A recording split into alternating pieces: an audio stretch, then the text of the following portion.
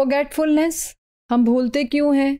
और जो भूलना है उसकी रीजंस क्या हैं फैक्टर्स क्या हैं? ये अभी हम देखते हैं कि मेमोरी जो है वो आ, किस तरह से हमारी हेल्प नहीं करती बाज़ात तो हम चीज़ों को भूल जाते हैं। उसमें आ, कुछ फैक्टर्स इन्वॉल्व हैं जिसकी वजह से हमारी मेमोरी ठीक तरीके से काम नहीं करती। वैसे आपको पहले ये बता दूँ कि मेमोरी जो है वो टू टाइप्स की होती है एक शॉर्ट टर्म है एक लॉन्ग टर्म है जो जनरल एक टर्म यूज़ हम करते हैं।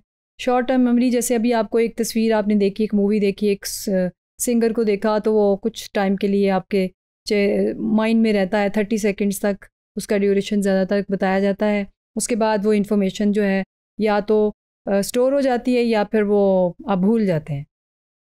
इसमें दो चीज़ें बड़ी इंपॉर्टेंट हैं।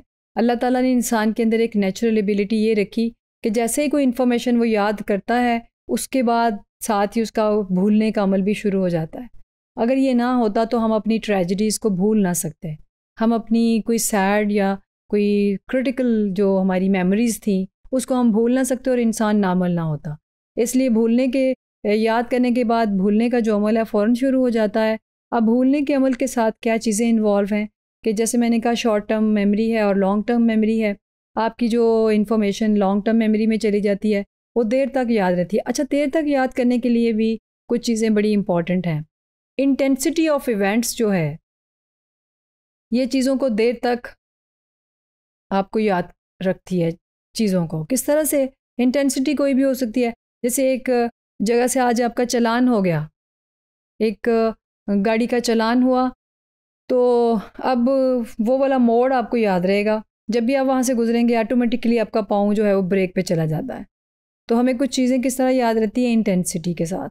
इसी तरह से आपकी birthday first day of college, last day of college, ये वो इवेंट्स हैं जिसके साथ इंटेंसिटी है। इंटेंसिटी है यानी यादें आपकी इंटेंस होके जुड़ी हुई हैं, वरना आपने दो साल कॉलेज के गुजारे लेकिन आपको बाकी दिन तो नहीं याद आए। इसी तरह आपके फ्रेंड्स हैं, इसी तरह जिनके साथ आपने अच्छा टाइम गुजारा होता है, वो ख़ास दिन, पिकनिक और ट्रिप वगैरह। तो इंटेंसिटी ऑफ़ इवेंट्स जो हैं, जब ये इन्वॉल्व होती है इंटेंसिटी तो फिर आप चीज़ों को देर तक याद रखते हैं। दूसरा, अटेंशन है। किसी भी इंफॉर्मेशन को याद करने के लिए आप उसको सोच समझ के जब याद रखते हैं तो देर तक आपको याद रहती है। मैंने अभी एक मिसाल आपको देती हूँ जैसे आपने एक अपनी कबर्ड में कोई चीज़ जो है वो रख दी लेकिन रखते हुए आपका ध्यान कहीं और था। तो चाहे आपने कबर्ड में सामने ही वो चीज़ रखी लेकिन जब आप याद करने की कोशिश करेंगे तो आपको वो याद नहीं आएगी क्योंकि आपकी अटेंशन नहीं थी उसको आ, उस वक्त सेव करते हुए। तो बहुत सारी चीज़ें जिसको आप याद रख सकते हैं आप प्रैक्टिस करें कि जब भी चीज़ कहीं पे रखें या तो उसको लिख लें कॉपी पे या फिर आप उसको आ, आ, बिल्कुल अटेंशन के साथ याद रखें। तो अगर याद रखना मुमकिन नहीं है तो आप अपनी एक डायरी बनाइए और उसमें जो भी चीज़ जो है वो आप रखें। बाज़ का तो आपने एक बड़ी एग्जांपल सुनी होगी कि आटा जो है वो कबड़ में से निकलता है और जूते जो है वो फ्रिज में से निकलते हैं। उसकी रीज़न पीछे यही है। क्योंकि आपने उसको टेंशन के साथ चीज़ को सेव नहीं किया था। सो so, एक रीज़न ये है जी फॉरगेटफुलनेस की। उसके बाद स्ट्रेस है एनजाइटी है डिप्रेशन है can cause forgetfulness stress anxiety में जब आप होते हैं तब भी आपको चीज़ें भूल जाती हैं और आप चीज़ों को याद टेंशन से नहीं याद आती हैं आपको। इसी तरह एकेडमिक एनजाइटी है। जब एग्जामिनेशन हाल में हम जाते हैं तो हमें एनजाइटी की वजह से सारा पेपर ही भूल जाता है। तो इसलिए ये उसकी एक एग्ज़ाम्पल है। और कन्फ्यूज़न है डिफ़िकल्टी कंसनट्रेटिंग है और क्रॉनिक एल्कोहलिज्म भी है। It seriously impair mental abilities तो lack of sleep honestly speaking lack of sleep जो है, ये आपकी मेमोरी को बड़ा डिस्टर्ब करती है। वो लोग जो छः घंटे या सात घंटे की नींद जो एक नॉर्मल है, वो पूरी नहीं करते और उनका जो माइंड क्लॉक है, वो कभी किसी वक्त सो जाते हैं, कभी किसी वक्त सो जाते हैं। जब आप रात को नहीं सोएँगे तो दिन में भी आपको सारा दिन नींद आती रहेगी। तो नींद में जो चीज़ें आप सीखेंगे वो आपको याद नहीं रहेंगी। सो लैक ऑफ़ स्लीप जो है ये आपके नर्वस सिस्टम को डिस्टर्ब करती है और साथ ही आपकी जो मेमोरी है, ऐसा ऐसा लॉस होना शुरू हो जाती है।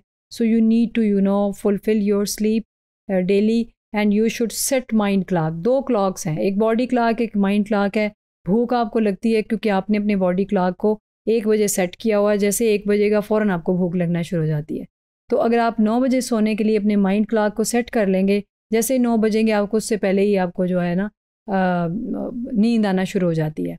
लेकिन आपका अगर क्लॉक ही कोई नहीं है सोने के लिए तो आप तो चार बजे तक भी जागेंगे, फिर भी आप, फिर आपके माइंड के अंदर जो है वो ड्राइनेस आना शुरू हो जाती है, आपको नींद ही नहीं आती because you did not set your clock so you need to set your clock for better sleep उसके बाद मेडिकेशन मुख्तलिफ़ किस्म की मेडिकेशन हैं।